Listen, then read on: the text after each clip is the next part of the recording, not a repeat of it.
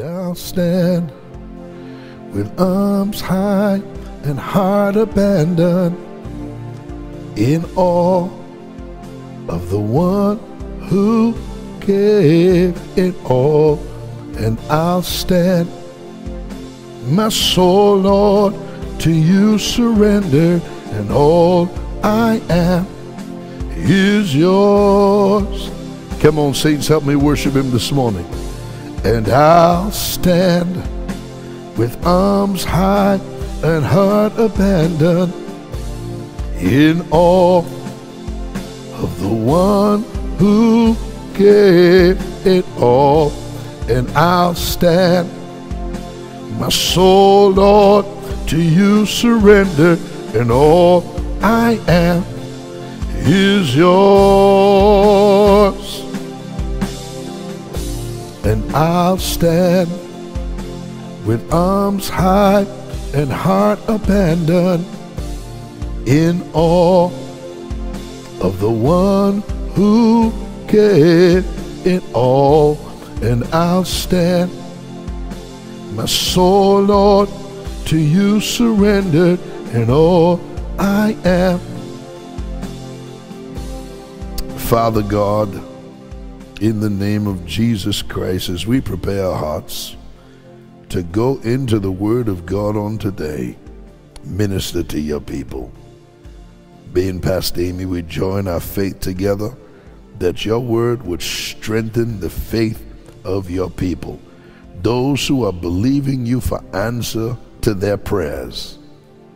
Let this word encourage them that they will get an answer, God. Let their faith be strengthened. Let their faith be encouraged this morning. In Jesus' name I pray. Somebody say, Amen. Good morning to you, saints of the Most High God. And listen, what I want to encourage you on this morning is pray until the answer comes because we do serve a God who hears and answers prayer. God is not playing around with your emotions when he said he will answer prayer. In the book of Jeremiah, chapter 33, verse 3, he said, Call unto me, and I will answer you. That's a guarantee. God said, Call unto me, and I will answer you and show you great and mighty things that you know not. We all get a little tired and worn out sometimes waiting on the answer to those prayers. But listen, you you just need to be encouraged. You need to know that God knows what's best for you. Are you listening to me? It's either yes, no, or not yet. And not yet is not a no. Not yet simply means the time is not right. Are you listening to me? Psalms chapter 102 says, God will arise and have mercy on Zion, for the time to favor her, the set time is come. So there's a set time where God answers your prayer, where He does what you are asking Him to do. That's what the book of Ecclesiastes, chapter 3 says. There's a time and a purpose to everything under the heaven. Do you know there is a time for your prayer to be answered? Watch this. Let's go into the book of Luke, chapter 18, verse 1 through 8. And the Bible says, And he spake a parable unto them to this end, that men ought always to pray and not to faint, saying, There was in a city a judge which feared not God, neither regarded man. And there was a widow in that city, and she came unto him, saying, Avenge me of my adversary. And he would not for a while, but afterward. You, you, I, did, did you hear that? Verse 4 says, And he would not for a while, but afterward he said within himself, Though I fear not God nor regard man, yet because this widow troubles me, I will avenge her lest by her continual coming she weary me. Now, Jesus is giving this parable, and the whole purpose of him giving this parable is to encourage you and me that as we pray, We must believe God and not be quick to give up, not be quick to throw the towel in. God is not Wendy's or McDonald's drive through where you just pull up and you put in your order, and by the time you get to the window, some of you getting mad if you got to wait five minutes. Come on, somebody. God is not your He's not your drive through. Come on, somebody. He is God. He knows what's best for you. And sometimes God waits because our hearts are not right. We are not ready for that prayer to be answered. I know me and Pastor Aimee, we used to be praying years ago, oh, give us a breakthrough in the ministry. And you know, God finally gave us a breakthrough. But when we look back, on our life and see the and see the wisdom that we had when we were asking God to give us a breakthrough, we rejoice that He did not give us the breakthrough because we would not have had the wisdom to maintain or sustain what God was wanting to do in and through our lives. So God knows what's best for you. Sometimes God have to equip you by educating you and preparing you for those answered prayer. Some of you praying for a house, and if God give you a house, how are you gonna pay? How are you gonna pay the bill next month? How are you gonna pay the bill the month after that? Come on, somebody. So God, you praying for a house. So God is working on getting you a job, getting you upgraded, getting you a raise, so that when you get the house, you'd be able to afford the payments. Come on, man. Come on, saints. God ain't crazy. He's going to give you a house, and then in three months, the thing is repossessed from you. You see what? You, do you see where I'm coming from? Look, this is not magic. This is not gimmicks or tricks. God is a wise God. He wants you to keep what He gives to you. Are you listening to me? And we know sometimes there are extraordinary circumstances where God overrides everything and He can give you a house that's paid for so you won't have to worry about monthly payments. And He has done that for, for many of His people. Are you listening to me? Listen to this. So He spoke this parable to them to this end that men ought always to pray and not to faint. And He said, There was in a city a judge which feared not God, neither regarded man. And there was a widow in that city. It's always a woman, right? Glory to God. These women get faith. Us men too. Don't sleep on us. And she came unto him saying, Avenge me of my adversary. In other words, I need you to settle this. I, have been taken advantage of. I have this adversary who's giving me problems. I need you to settle it. I need you to put him in check. I need you to rule in my favor. And guess what the Bible says? He would not for a while, for a while, for a while. That means she she there was a waiting period for this woman. But afterward he said within himself, Though I fear not God nor regard man, yet because this widow troubleth me, I will avenge her, lest by her what? Continual coming she was there the same time every day, 10 o'clock, 10 a.m. on the dot. He can see in the distance. Oh, dear God, not her again. Oh, yes, it is her. Why? She was persistent. She was determined to get an answer.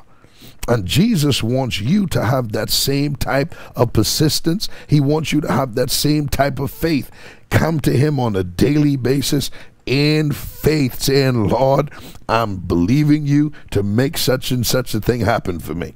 And Jesus said, verse 6 and the lord said hear what the unjust judge saith did you hear what this unjust wicked judge say who didn't who, who didn't fear god nor regard man jesus said and shall not god avenge his own elect which cry day and night unto him, though he be along with them.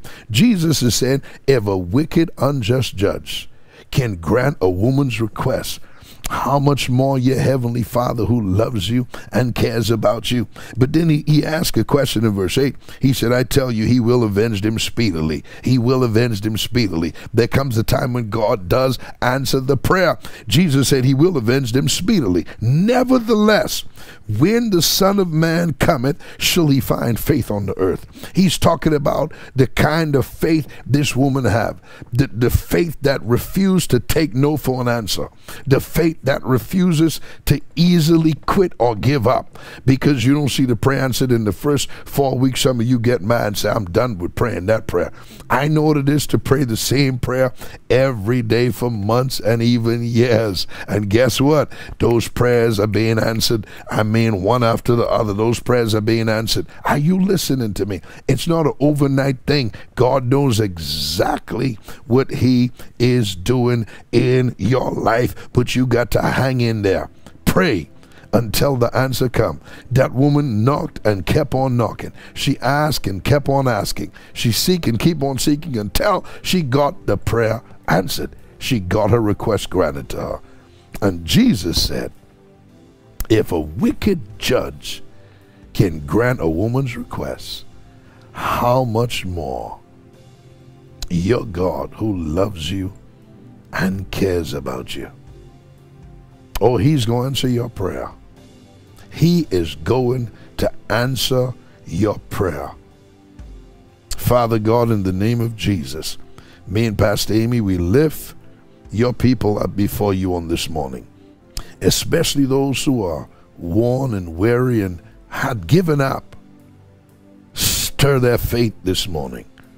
Stir their faith in the name of Jesus that they just need to keep on praying because the answer will come in the name of Jesus.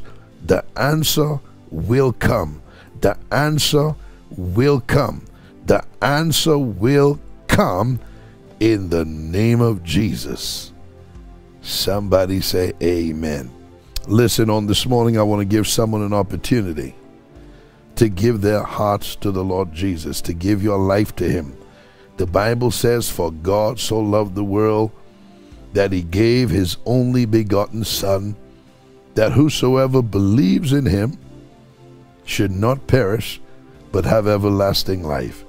He loves you this morning. And without any hesitation, I want you to pray this prayer with me. Say, Lord Jesus, I believe you are the Son of God. I believe you died on Calvary Cross for me. They buried you in a borrowed tomb. But on the third day, God raised you from the dead. You are now seated at God's right hand. And soon and very soon, you are coming again. From this day, I surrender my life to you. From this day, I turn my back on the world, the flesh, and the devil to serve the true living God and his Son, Jesus Christ. Amen. If you prayed that prayer with me and meant it with all of your hearts, let me and Pastor Aimee be the first to say to you, welcome into the family of God. Welcome into God's family. Your sins have been forgiven. You are now a child of God. I want you to type below this video right now, I've just surrendered my life to Jesus. You are a child of God, washed in his blood. The old chapter is closed, and today marks a day of a new beginning in your life. The Bible says, Therefore, if any man be in Christ, he is a new creature. Old things are passed away and behold, all things are become new. I want you to type below this video right now. I've just surrendered my life to Jesus. We created a booklet for you. It's called First Steps in a New Direction. We encourage you to scan the QR code and download that booklet.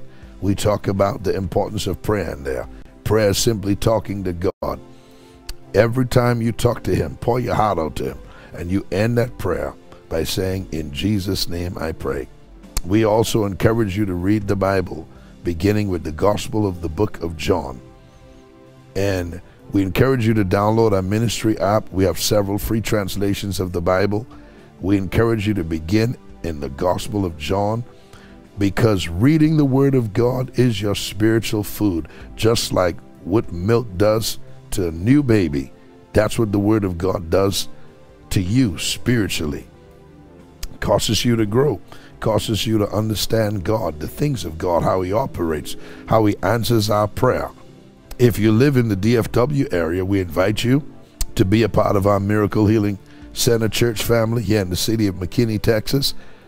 We meet at Cockrill Middle School Sundays at 10 a.m., 1351 South Hardin Boulevard, McKinney, Texas, 75071. We'd love to have you a part of our local family. I'm asking 300 of you who have never partnered with this ministry or never done something significant.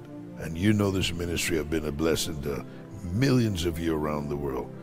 I'm asking 300 people to make a commitment for the next 12 months to stand with this ministry. And I'm asking you to do something significant to help us continue to preach this gospel around the world. We want to begin three nights of miracles in a few months, but we cannot accomplish this by ourselves. We need you to stand with us financially. We need you to make a commitment for the next 12 months to do something significant. And people, this is not a joke. This is not a game. I'm very serious about this. If you know you are able to do it and you can make that commitment for the next 12 months, I want you to do something significant for the next 12 months to help us do what God is calling us to do. You know me and Pastor Aimee, we take these things very serious. To give in this offering, you can visit us online at seanpinder.net forward slash give. You can also give through the ministry app. You can also give through the ministry PayPal account. That address is paypal.me forward slash Sean Pinder Ministries. You can also give through the ministry Zelle account. The ministry Zelle email address is info at seanpinder.net. You can also give through the ministry Cash App account. The ministry Cash App address is the dollar sign Sean Pinder Ministries. You can also give through the ministry Venmo account. The ministry Venmo account is at Sean Pinder Ministries. You can also text to give. All you have to do is text the letters SPM to the number 45888 and a link will automatically be sent to you. You can also give by mailing your donations into the ministry. Just remember to make your checks and money orders out to Sean Pinder Ministries, P.O. Box 2726, McKinney, Texas 75070. Listen, main Pastor Aimee, we love all of you. We appreciate you. And a tremendous, a huge thank you to our, to our partners who make this broadcast possible to help us take this gospel around the world. We love all of you. Join us again on tomorrow morning for another morning prayer broadcast. God bless you.